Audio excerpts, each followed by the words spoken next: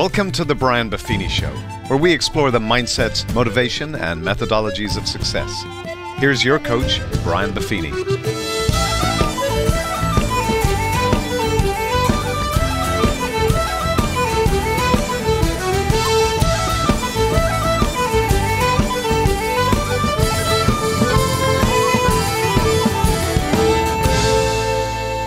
Well, top of the morning to you, and welcome to the Brian Buffini Show.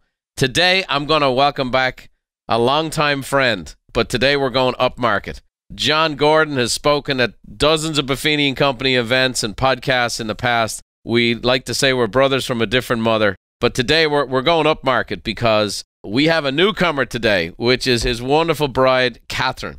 And we are going to dive in today onto the subject of relationship grit. And with everybody being in stay at home orders or quarantine, we know that a lot of marriages and relationships have had a lot of challenges in the last 12 months. So we thought this would be a great time to get together and talk with uh, a fantastic couple who've learned a few things. And we're going to kind of roll up our sleeves and get into the content of relationship grit. You know, Jon has written over 20 books. He's all over the world as a best selling author. But as I know myself, with my bride Beverly of 30 years, that the best sales presentation I ever made was to get her to marry me. And the best sales presentation I make every day is to have her stay married to me. And she's the rock on which I stand. And I know Jon has told me about you, Kathryn, for many, many years. It's I'm delighted to meet you and I'm delighted to have you on the podcast today. I, I warn you ahead of time. He and I are very similar people. So you're kind of outnumbered today. So you're going to have to fight for your space, okay?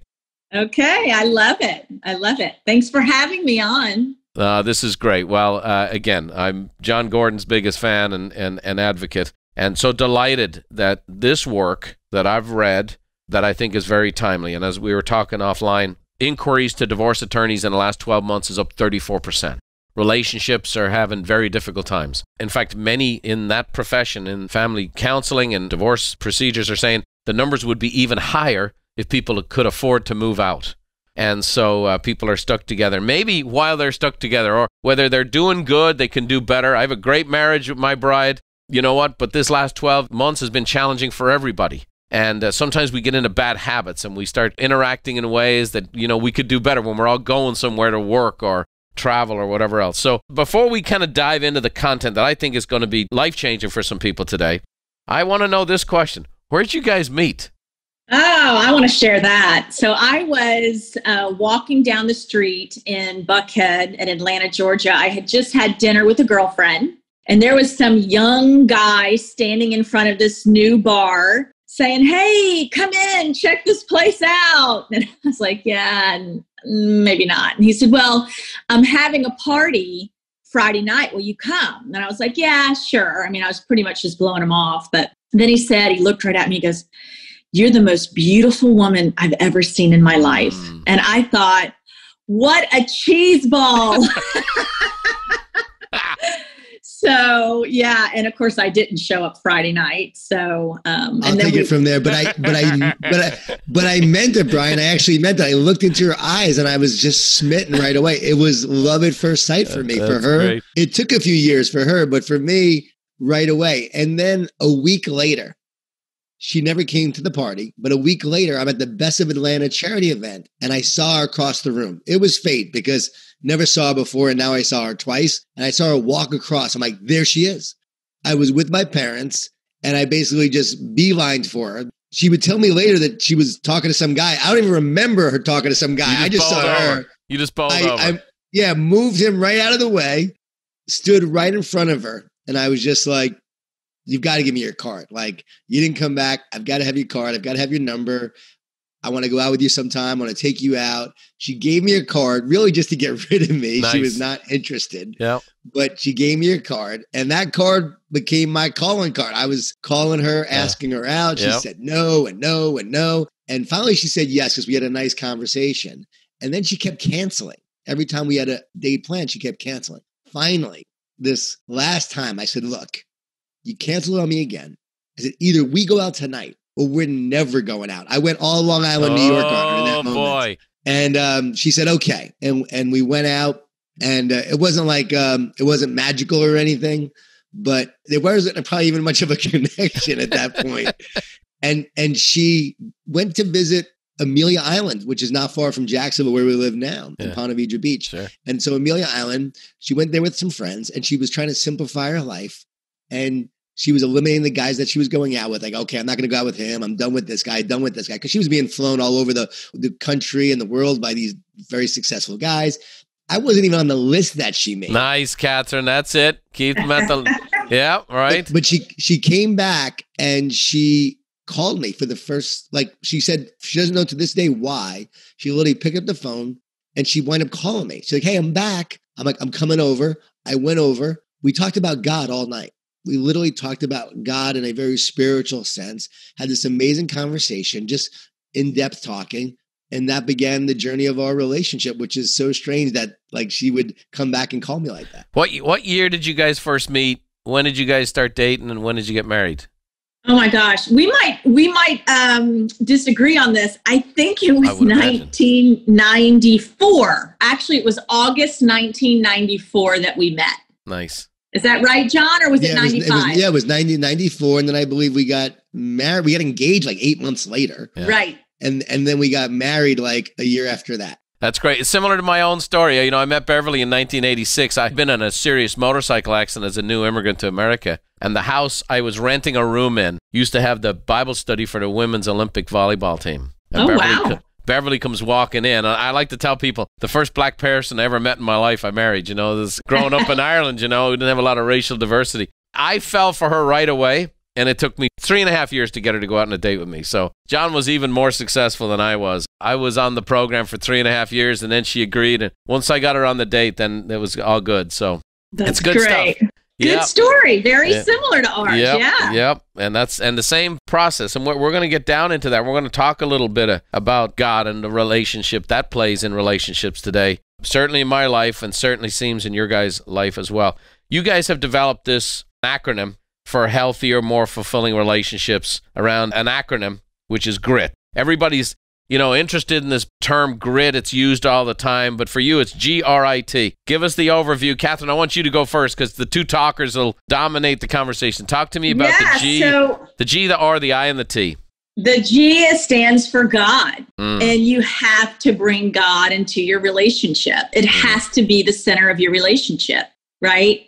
So it's the triple braided cord. You you can't break it.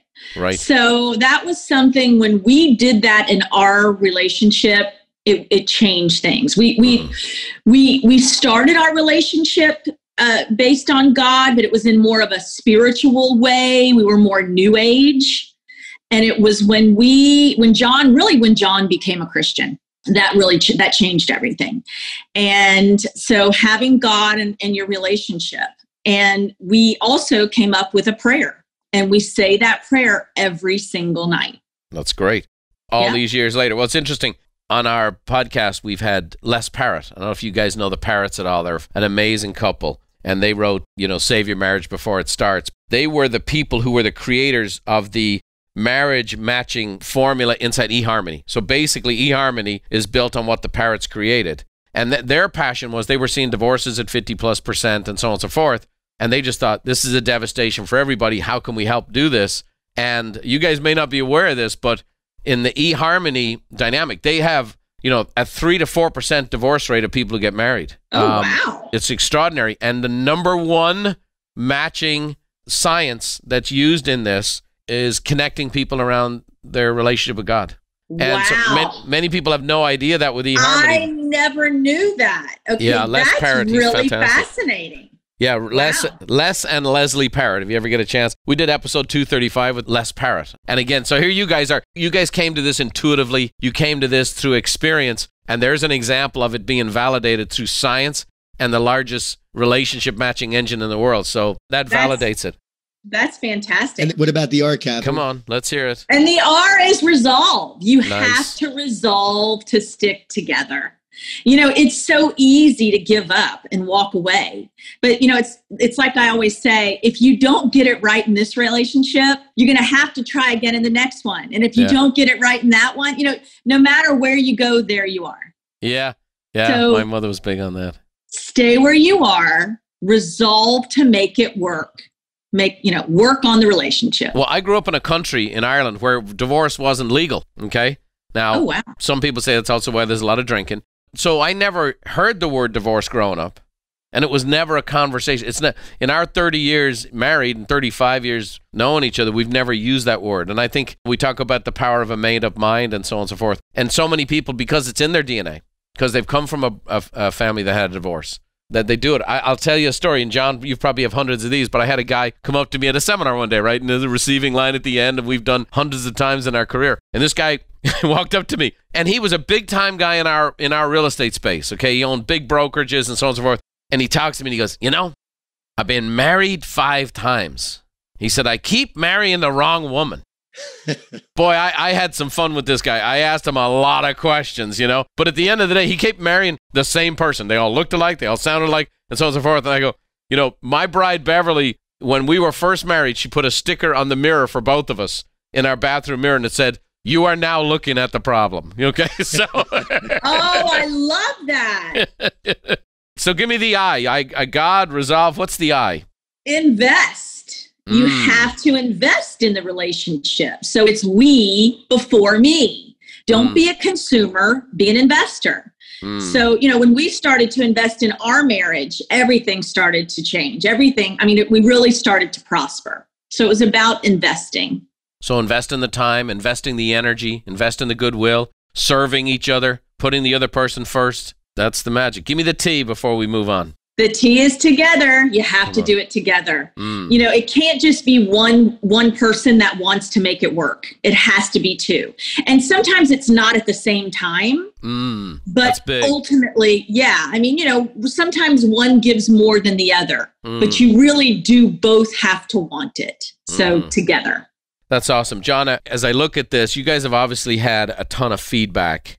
You've you've done this book, you put it out there in the marketplace you know, as you hear more and more challenges out there in the marketplace, it's got to drive you back more and more to these principles inside your own marriage.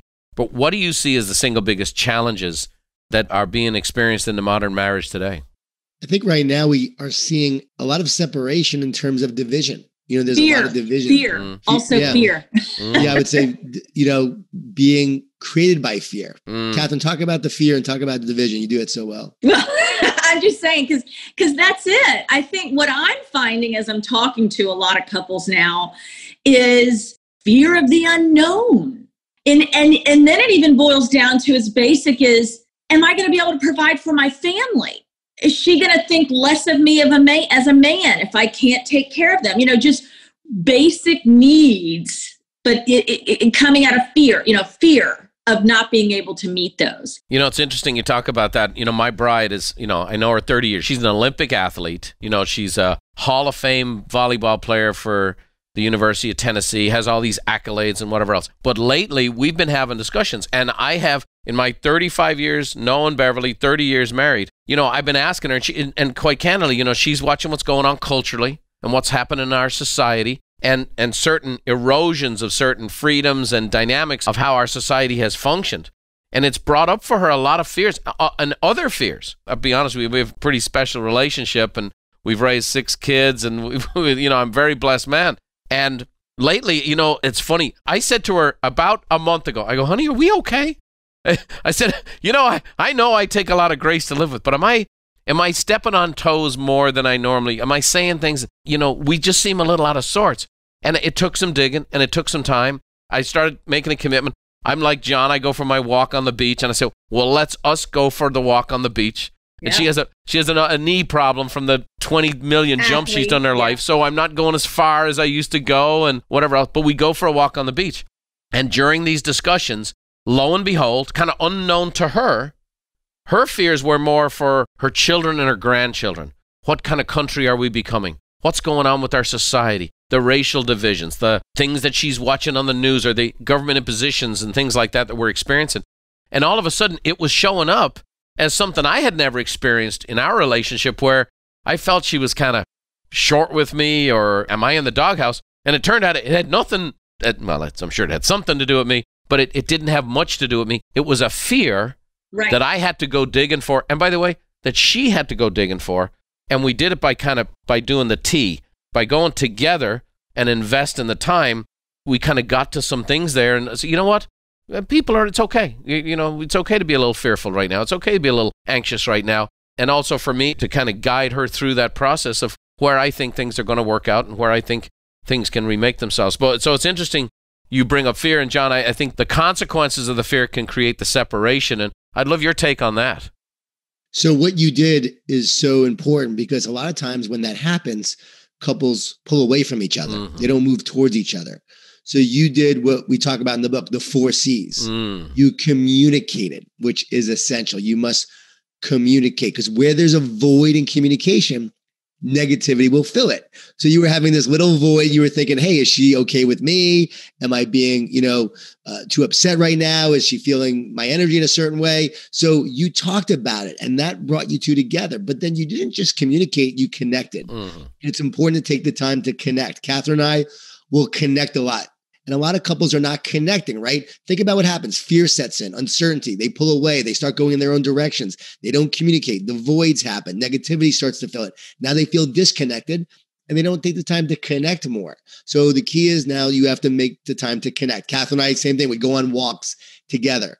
We would talk about our fears. We would talk about, hey, what should we stand for right now? What should we focus on? What message do we need to share to help people through this time? You know, Brian, someone the other day, you know, said to me on Twitter that, you know, Jon, it doesn't seem like, you know, you're, you're trying to help struggling restaurant workers. Don't you care about the loss of life? I said, of course I care about the loss of life. I care about every life. My focus, though, is to help those who are living right now and we have to help. We, are so focused on death that we're not focused on life right. and living, and that people struggling in the mental health. So I'm like, of course I'm focused on life. So so Kath and I would talk about that and talk about who we need to help and focus on the living and focusing on our life and our marriage and helping others. So yeah. we really got to the core of, of connecting. I, I want to throw this commit. in for I want to throw this in for a sec though, Jon, sure. because one of the dynamics that's unusual in the context today is people feel like they're connected. If they're in New York or San Francisco or LA, they're in an apartment together. They're they're in the house together. They're working from home, schooling from home. So they're around each other more than ever before, which obviously creates opportunities for some grist. There's also more stress, but I think the people have the illusion that they're connecting because they're seeing each other all the time.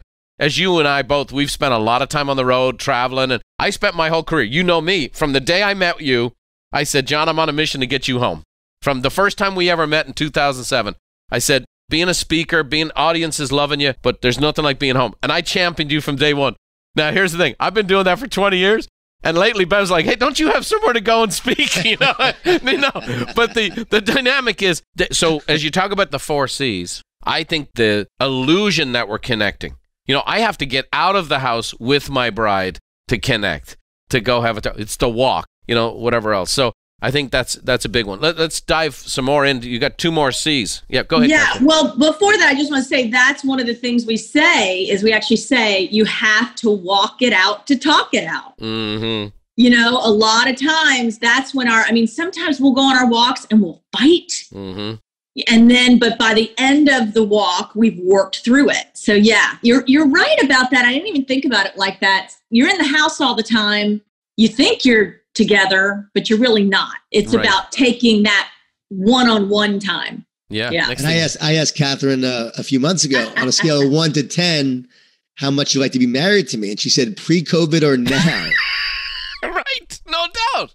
It's an unusual circumstance, and you know it's made lifelong partners roommates, uh, right? Uh, workmates. You know, like my bride. I don't know what Beverly thought I did before, but like I'll be on Zooms, and you know, this and any other. And I've got meetings. I we, we just signed a, the biggest deal in our company's history with the National Association of Realtors and this and any other. Wow. I'm on the I'm on these meetings for hours and hours, and she's like, "Hey, you know, the guy's here to change out the lights outside. What's going? Why can't you meet with him?" I go, well, "I got the." I got the CEO of the National Association of Realtors on the Zoom call right now. I, in fact, I have him on mute while we're talking right now, babe. You know, so uh, you know, you got the we got the kids. We have six kids. All of them came home all are doing college online. You know, all of a sudden, now, again, thankfully we have big home. Not everybody's in that spot. But you, you think you're communicating and you think you're connecting, but but maybe you're not. COVID and a lot is, of times couples don't know how to communicate and mm. they never have, right? So they never really got down to their feelings and talked about their issues and talked about their challenges and talked about their fears. So that's what we talk about in the book. Like you got to bring it out into the open. We actually created a free action plan for couples to do mm-hmm. with the book. So that way they can actually do this action plan, enhance their communication, and again, if you need to go to therapy or counseling, we encourage that. Like that will help a lot of couples.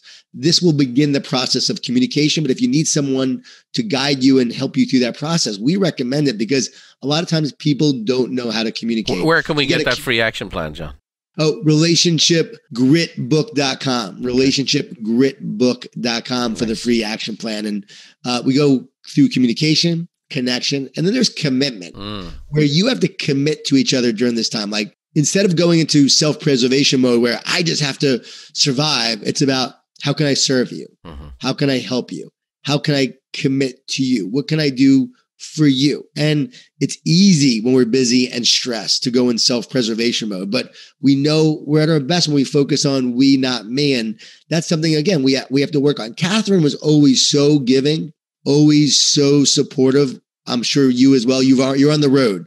I was on the road. Come home, right? Kathryn was there for me. She was busy with the kids, serving, sacrificing with those kids. We had it a lot easier being on the road. But then you come home. We called it the the uh, reentry period, right? The turbulence that comes in when you'd actually yeah. walk in the door, and you know it would be like so hard those first. Well, they get used to living without us and making decisions, and now you come home and you have an opinion right. on something. It's like, hey, we we you know this all works when you're not gone, and now you want to get on the merry-go-round and you have an opinion on things. By the way, you're leaving. you know.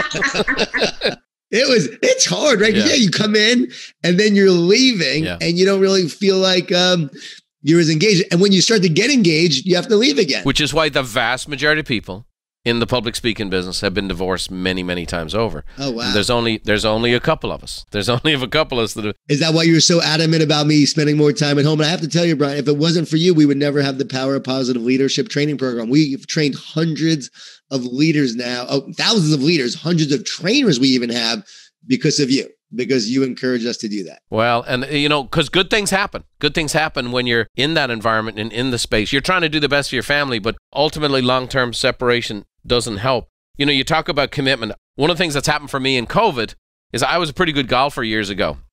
I was about a one handicap for about 10 years. And then as the kids started coming, kids are in sports. Every one of my kids, as you know, they're one is pursuing the Olympics and one was a college football player, and then I have four college volleyball players. So I'm at games, I'm doing this, I'm doing that, I'm traveling, I come home. So the one thing that had to go was a game of golf. I mean, it was an easy decision for me. Uh, you know, imagine I'm gone all the time and then I'm home Saturday and I'm five or six hours on the golf course with the guys. So I went like playing once or twice a year for years. And then we had a house fire in 2007. I didn't play for several years. So I started playing. I'm in a club right here in, in Carlsbad, and I'm playing in this men's group the other day. So they're all sitting around. The kind of guys are standing out and they're having a beer and we're socially distanced, like 20 guys, you know? And this one guy says, You're a kind of an odd guy to play golf with. And I go, Okay. He goes, You hit shots like a pro that I, no one in this group can hit, and then you hit shots like a beginner. And I go, Yeah, well, I just haven't played. And so that's why I'm here. He said, Well, what's your handicap? Because we're trying to play in these tournaments now. I said, Well, I was a one, but, uh, you know, but now I'd be doing well to break 80. And the guy goes, that, That's kind of hard for us to know. He goes, How did that happen? So I told him about the kids and so on and so forth. And he says to me, Oh, I could never do that. And the guy next to him says, I could never do that. So then I, you know, and it's all guys standing around, they're drinking beer and telling jokes. So I asked the one guy, well, let me ask you, how long you been married? He goes, well, I was married 18 years and da da da da, and then you know got divorced. The, the, the other guy who commented, well, I was married uh, 20 years and then I got divorced. I went around the the whole group. I was the only guy in the whole group who had never been divorced out of 12 or 13 guys. And, it, you know, kind of got, we went from a fun, kind of jocular conversation to all these guys. You could tell the regret swelling up in them. And then one guy saved the conversation because he said, Well, how'd you do it? And I said to him, which I think fills into the third C, as I said, when I got married, I realized my life was no longer my own. My life belonged to my family, my wife, and my kids, and that that would be my life. And I said to him, hitting a golf ball 320 yards is never going to replace the joy that I get of any of the small little moments with my wife and kids that are a joy to me. So I go, it's just about a reprioritization. So I said, I made a commitment when I got married, my life was no longer my own. I'll have to send this podcast to these guys. They're all listening in. So, so Brian, I, I have a question for you. Did you learn that? Was that modeled for you, or what made you make that decision? Oh well, let's. And so here's the blessing, right? My my mom and dad are married 62 years. You know, living in the same little house in Ireland. They never had money. They never had this. They had that, but they were committed. My father-in-law and mother-in-law, they're married 60 years. So I did have good examples. And so that I know that's a rarity and that's a blessing, but I got to see it modeled. And so for me, my mindset was always I was going to take time. Like you didn't go out with him right away. Okay, that's a great lesson for young ladies. You know, you you wouldn't go see him right away. You made the connection and so on and so forth. I took my time. You know, even though I knew Beverly was one for me, it took time. We took our time. We made the commitment because you know what? I was going to measure twice, three times, four times before I cut. And then once we got married, I was all in, and I've been all in ever since. And um, I'm looking for the joy, I'm looking for the blessing uh, every day with my bride, as opposed to keeping a list of wrongs, keeping a list of shortcomings, keeping a list of you said this, you know, you always do that. You know, those are words not allowed in our house. You always. You know, it's the same thing. You know, we're on the same page. I read the book and I went, yeah, I, uh, yep, yep, yep, yep. This is great. So we have. Well, commu- well, Kathryn always says, "Don't keep score." Right? right? If you keep if you if you keep score, the relationship doesn't win. So you yeah. have to make sure that you're not keeping score. But I also think we need to recognize again the commitment that you know our, our wives make mm-hmm. in in the relationship. It's like you have to give. I think about Kathryn, like she was so committed for so long and I wasn't as committed early on. I was committed to getting out there, speaking, providing in that way, which I had to do. And she supported that. She wasn't the wife that said, Oh, no, be here with me. She was like, You go, you go do this work. I got this. Like, I would not be who I am today if it wasn't for her commitment, her sacrifice. And later on, though, I had to really learn commitment mm. to her and to make sure that when I was home, I was putting my family first. I was putting her first. Early on, Brian, 30, 31 years old, 32, 33, I was not a good husband. I was not a good father. I was literally just trying to make it self focused. I wasn't a person of faith. And that's what we share in the book the story of how I changed in a lot of ways, became a person of faith, started to focus more on my wife. I learned that commitment. I came from a divorced family. So my biological father wasn't committed. My dad who raised me was very committed. So I saw he and my mom together for commitment. Kathryn comes from both parents stayed together for a long time, but they weren't happily married. Mm. So we don't mm. want people to stay together just to grit it out mm. and with clenched fists and we're going to stick together and be miserable. This is about how do you stay together and make it meaningful and special and more loving and more joyful, right, Kathryn? Well, let me jump in on something you just said, Jon, because I think this is this is a big deal for men which is not a lot of men venture into these subjects. I mean, daytime TV, and there's a whole bunch of books and lined up. The women, the romance novels, 98% purchased by women. You know, the women are, are very relationally focused and more connected on that. Now, when I read the Bible, here's what it says My responsibility is for the love relationship in the marriage. And my wife is supposed to have responsive love for me, as the words are written in Greek. The agape, the God given love, is supposed to come from me to my wife and my wife is supposed to respond to that. So she loves she loves me because I love her. And so when I read the Bible, it says the onus of responsibility for the love relationship in the marriage is on me. And the dynamic there that's interesting, what, what we want to do is provide. I'm going off to work. I'm going to hunt. I'm going to chop down the trees. I'm going to do the seminars. You know how hard I'm working for this family. And where, by the way, who's keeping the lights on? You know how funny roads and nights I was on the road, and you know how much that costs, and what's the deal? And had three nights on the road, and whatever. That's the role we're comfortable in. We're not comfortable in the leading the love relationship in the marriage, and that's really we have to step outside ourselves. I just think this. I think women know we're naturally so inept at this that any effort we make at all they just cheer us on enormously. And Kathryn, I love your take on that, but I just feel like when I make all these efforts for my bride, like I'll do a week of flowers. My wife loves flowers. Have a memorable Monday. Have a terrific Tuesday. Have a wonderful Wednesday. You are tremendous on Thursdays. And and uh, let's have a fabulous Friday. And I'll just boom, boom, boom, boom, boom. They'll show up every day. And when I do things like that or I communicate, I'm big on doing things. My wife needs to hear words. So when I, I write the note, uh, the extra note with the flowers, when I do that, and my wife just so appreciates it because she knows I have to think about it. And I, I wonder if, if you have any thoughts on that. Uh, that what Jon does for well, me. Well, yeah, just what? that when he makes the effort, when he makes the effort to cultivate Oh, the love and the relationship, I you, you, you appreciate it. At, yeah.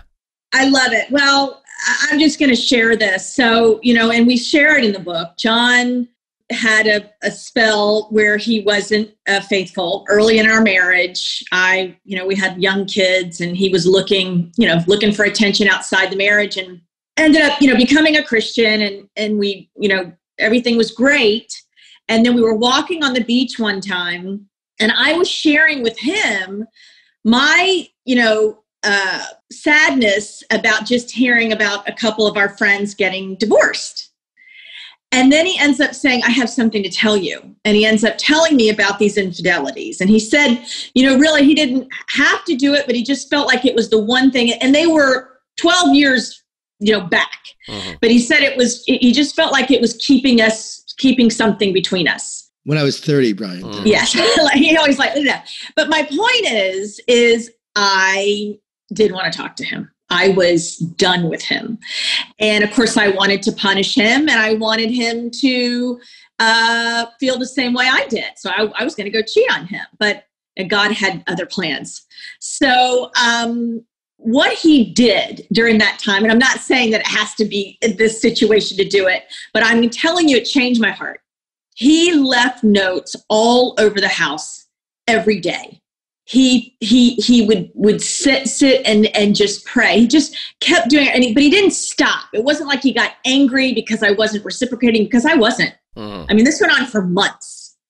But the one thing that he did was to leave these notes. Now it's not the same way in that you're telling it but but i have to say i know i just where did i go with that jon hey, hey, honey, like Brian was just talking about these great notes that he leaves every week, and let's just go back to You like know, the worst you know moment of my life. yeah, and you know what? Here's the great thing. Here's the great thing is uh, what I find is, in my work is that people can't identify with the guy that has the Learjet or the big business or all that stuff, but they can identify with the struggles and the mistakes and the missteps. Uh, you know, I, there's too many of the motivational crap speakers out there that never had a bad day in their life. Every day is positive. Every day is fantastic. They've never had a down day. They've never had a, a misstep. And that's why, you know, Jon Gordon is known as this ferociously positive human being. Therefore, in the modern parlance, never made a mistake, doesn't have bad thoughts, doesn't get anxious, doesn't get fearful, doesn't get frustrated, doesn't, you know, doesn't get snippy with his wife, doesn't get anxious. Like that's that's what the conclusions are drawn. And so here here's what this is. When you guys share this story and share the dynamic and share the how-tos, I, I think it's for all of us, it's the most probably the devastating mistake we can make to lose our wife's heart. And the great hope is that you can win your wife's heart back. and that's I mean- my point. and he Yeah. did Mhm. and and and he still does that he writes love notes and uh, just just constantly just and complimenting he all it always is complimenting you know that never stops so it, it is those little things that he does i didn't mean to go south with that but No, it's awesome. but you're right because you know it's the same thing that Jon says about how he can write these books. He doesn't write these books because he's naturally positive. Yeah. I'm the positive one in the family. he's the one that has, you know, he really he has struggled with Sure. that for years and it was in writing the books that helped him help Yeah. himself be more positive. Well, out of your pain comes your passion. And here's the deal with him. Our very first conversation we ever had in depth, this subject came up. He was transparent with me because I was I was championing him and I was championing him as uh, as a father and a husband and as a guy in the speaking business. And we we went there in our in one of our very first ever in-depth conversation. I, I was like, man, I think me and this guy are going to be friends a long time. But because his heart was, I want to be God's man. I want to live a good life. You know, I've made mistakes. You know, how do I do this business that's taken off? And I've written these books that have touched people's hearts all over the world. How can I honor that commitment and that calling and yet at the same time be the man I'm supposed to be for my wife and kids? That was kind of our first ever conversation. And that's why it turned into things like the training programs and so on and so forth. So it's, it's magical stuff and it, it serves a lot of people. We have a few minutes left. Uh, Jon's got a commitment with the NFL he's got to keep. What are the, what's the fourth C? I feel like I'm I'm hanging on the trailer. Who shot J.R. We got commitment, connection, communication. What we, what's the last one? Well, you have to show that you care. And that care is what makes a great relationship. That's everything. So if you if you don't care, people won't know you care. They won't feel it. They won't know it. They won't sense it. So it's all about caring. You know, us talking about this right now, we shared in the book. So this is not something like that's just coming out in the talk. We were very transparent in the book, talking about my mistakes, talking about what I did wrong, talking about how Kathryn forgave me years later when I told her I am 49 years old, about to be 50 now, right? And so we're still we still have this thing that happened when I was way younger in our marriage early on when I'm a different person at that point. But at the same time, we knew we needed to tell that story because we care about others, because we care about other people's marriages, and we know other people are going through struggles. So if we don't show that we care by being honest and being truthful about who we are, we can't help other couples, we can't help other men, we can't help other women. So I think caring is extending yourself. It's demonstrating commitment. It's it's showing that other people matter. And so it's those little things. You send flowers i write notes other people cook in my family, food and love was one and the same yeah, growing right. up with my mom. Same right? with my mom. Jewish Italian family, a lot of food, a lot of guilt. Yeah. and so there are different ways that you show that you care, right? And so so so each person has their own caring trademark. Kathryn always compliments me, makes me feel like I'm I'm, I'm the king of, of the world, gives me the confidence to go out and take on the world. And that's how she shows that she cares. She believes in me more than I believe in myself. Every time we've gotten to the next step in our life, I'm like, You sure we're going to be okay? You sure we should do this? She's like, Yes, let's go for it. We can do this. And so she's been that champion. That, and she cares. And that care is what bonds you two together. It's what makes a strong relationship and it's what's key to a marriage. So you got to communicate, you got to make sure you're connecting, you got to have that greater commitment for each other, and you got to show that you care. That's beautiful stuff. You know, I think one of the things it's easy to struggle with is we can show care for people outside the home and forget to put the people in, inside the home first. You know, we, yeah. we serve these people and help these people and give these people and love on these people. And, you know, they always say put the oxygen mask on yourself first, right, before the ones you love. And sometimes we forget that. And I think that's, you know, especially coming out of this environment where we've been, we can we can be sending notes and encouraging people outside of our home and forget to do it inside our home because uh, they're there all the time and we're there all the time. And I just think this message is very, very powerful. It's very, very important. It's very, very real.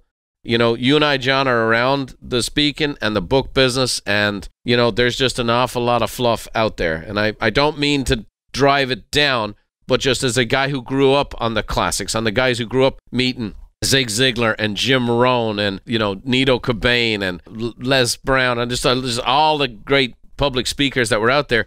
And today it's a lot of pop psychology. They were on The Apprentice on Tuesday. Their book comes out on Thursday, and they, you know, they're they're on the Good Morning America show or whatever else. And you know, I, I, I personally sat on a panel with a gal one time who wrote a best-selling book about how to buy your first home, and from the proceeds of the book, she bought her first home you know and and there's a lot of that stuff in relationships and so on and so forth. And this is the real deal. It's a gritty book about a gritty subject that ultimately is the essence of everything. And i appreciate you guys doing it. I appreciate you guys being so transparent in, the book and here today. I think it is a blessing. And i'm going to encourage everybody to go and get relationship grit wherever books are sold. You got god resolve invest and be together and learn those four c's. And uh, you know what? Life is good. I think human beings do better together. We do better together. We're designed to be in relationship.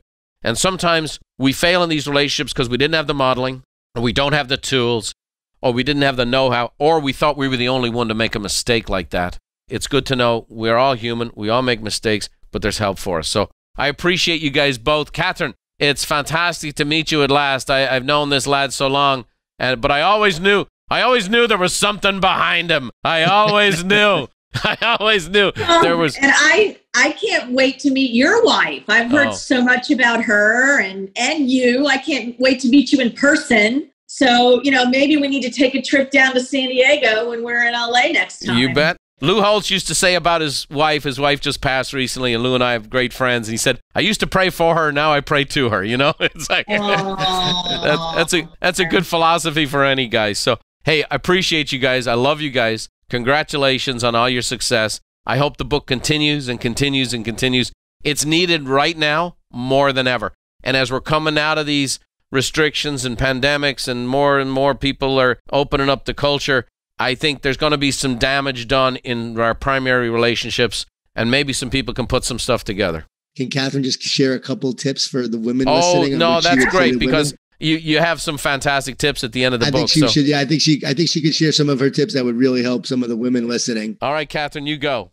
Yeah, well, I'll just share two that I that I love and I live by, and one of them is compliment your mate. Mm-hmm. You know, let the best thing they hear about themselves come from you. Mm-hmm. How many times are you with a friend when they're, you know, always bad mouthing their husband or bad, you know, or or to their face, you know, what are you wearing? What are you doing? And so start giving them compliments. When Jon was traveling a lot, you know, and I was home and it was really hard uh, with the kids. It was a hard time um, trying to run them all over to different sports. And he would walk in the door with his handsome suit and he was clean looking and, you know, on his way out to his first class flight.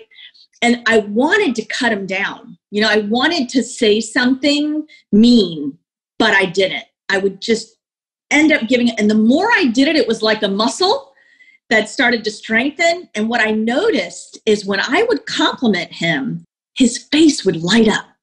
So that's one big thing I always say compliment your partner, compliment them. And the other one is don't compete. Mm. I see that a lot. I see couples competing. You know, if one ends up losing weight, but the other one needs to lose it, they don't they don't like that they want to keep them down you know they're again it's fear right mm-hmm. so they, they you know they want to keep them where they are so don't compete that's awesome that's yeah. awesome. Well, and by the way, you just, you know, I thought he used to fly Southwest Airlines according to his talk. So that's good to know. He used to, he, he's getting dressed up for that first class flight. That's good to know. Well, Listen, that happened later on in his career. Yeah, I know, that. I know. that wasn't happening in the beginning. yeah, no, that's the Irishman. I got to take it in there. Listen, here's the deal. For the rest of the tips, get the book, read the book, and maybe get it together as a couple and uh, read it together. Go for a walk and walk and talk it out. That'd be good stuff. And maybe what we'll do is this I'll have you guys send emails to us and we'll forward them on to the Gordons so they can hear about their impact, how they've blessed your life and blessed your relationship. And uh, you guys have been a blessing to me for a long time and uh, a blessing to a whole bunch of people on this podcast today. Thanks for joining me. I appreciate you so much. God bless. And uh, a person who's been uh, a model for me for uh, my whole life in regards to the grit and the gritty relationship that she has with my dad is my mom, Therese, who's going to leave us today with an Irish blessing. So over to you, Mom. May the road rise up to meet you, and may the wind always be at your back. May the rain fall soft upon your fields, and the sun shine warm upon your face. And until we meet again, may God hold you in the hollow of his hand. See you next time.